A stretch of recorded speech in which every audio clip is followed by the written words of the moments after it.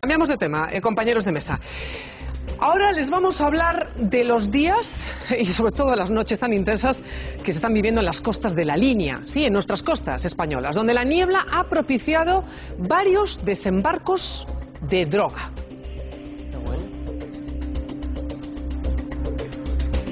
Estas son las imágenes de un lugar. Bueno, pues en tan solo hora y media se han interceptado, señores, lo que les digo, cinco alijos. ¿Y qué detalles tienen de lo ocurrido en esta semana? Eh, hablamos con José Encinas, portavoz de la Guardia Civil. José, en tan solo media hora, detención de cinco alijos. Cuéntenos, por favor, ¿qué se está produciendo en esta costa española? Buenos días. Buenos días.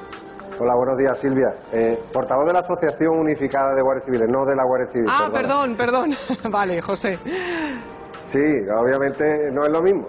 No, no, no es lo mismo, no es lo mismo. El si me blanco y el permites, negro, no. antes, a- antes, ahí está. No, tenía si me como de la permites, Guardia antes Civil, de tratar perdone, todo este tema, me gustaría, sí, si me permites, antes de tratar eh, entrar en el asunto, me gustaría trasladar todo mi apoyo y, y mi solidaridad con la compañera Pilar y los otros compañeros que han sido expedientados por expresar simplemente sus ideas y, exponer sus pensamientos ante, ante la propia Dirección General. ¿no?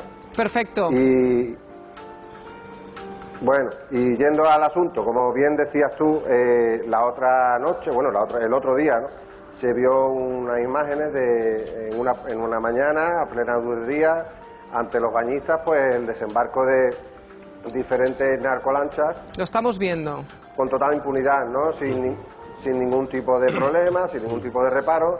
Y obviamente el clima lo, propiciaba porque estábamos, llevamos unos días que la mañana está siendo de niebla, hoy afortunadamente no, y eso impide o dificulta muchas veces la labor del CIBE y la labor de los compañeros que, que tienen que actuar ante, ante estas narcolanchas, ¿no? ¿Por qué se producen tantos inte- intentos? Eh, estamos hablando, José, de que mm, no tenemos demasiados medios.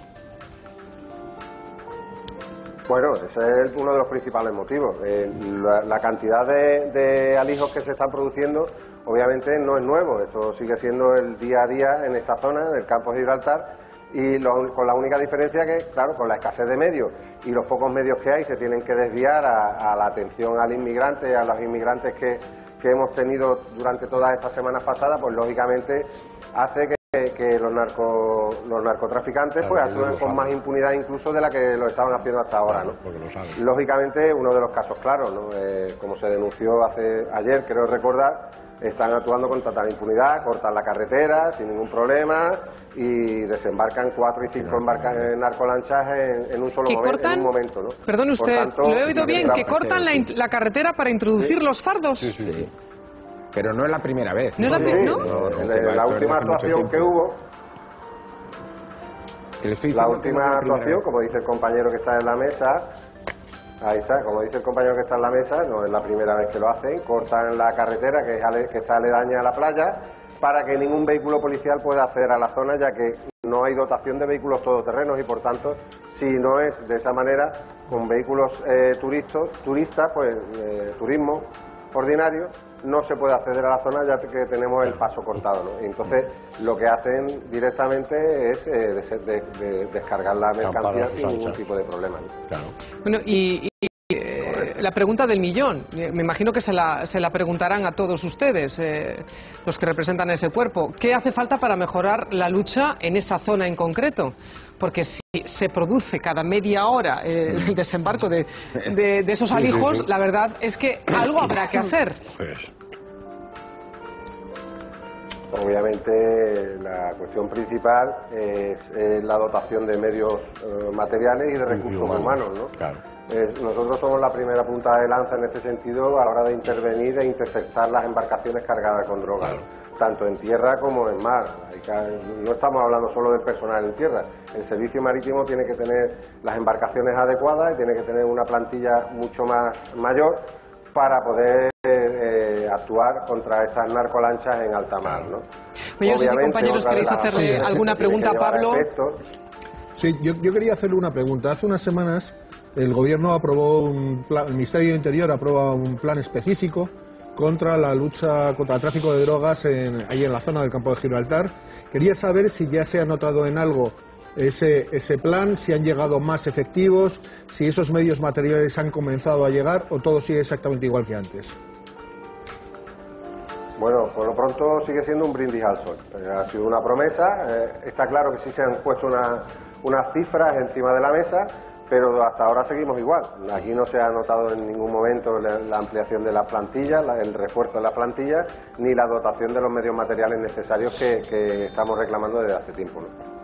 La verdad que las imágenes eh, eh, Hombre, son no, espectaculares. es que es como que anchas No, no, Castilla. pero es que además, fíjate, la- Sí, las pero- imágenes pero las han ellos mismos. Pero yo creo, bajo. yo creo que también hay que ser justos y también hay que poner en valor que se han dado últimamente, en los últimos meses, ha habido unas grandísimas operaciones contra el tráfico de drogas en la línea, contra se han golpeado muy duramente las organizaciones. Se está haciendo un trabajo muy importante de investigación sobre los elementos patrimoniales de estas organizaciones y yo creo que ese es un trabajo que está haciendo tanto la policía como la Guardia Civil y creo que eso que también hay que ponerlo en valor. Precisamente También, vamos a ir con una de esas detenciones También se en ha breve. demandado, también se ha Pero demandado una de más las gente. Un escuchemos a, José.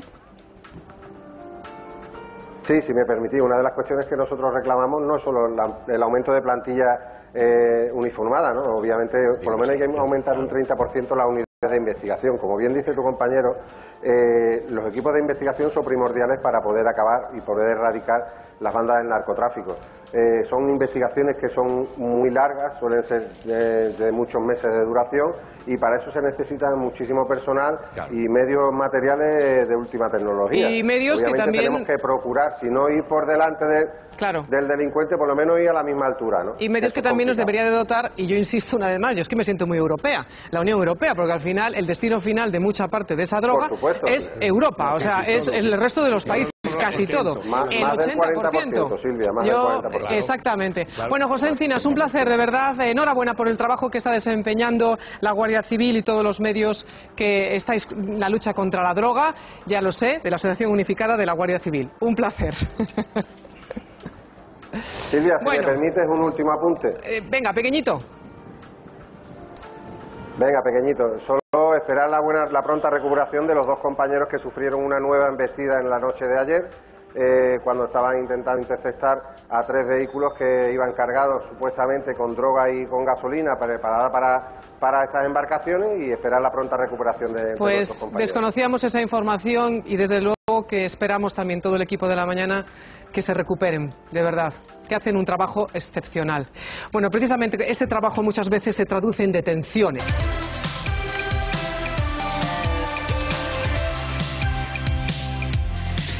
Las Ángeles de Cha-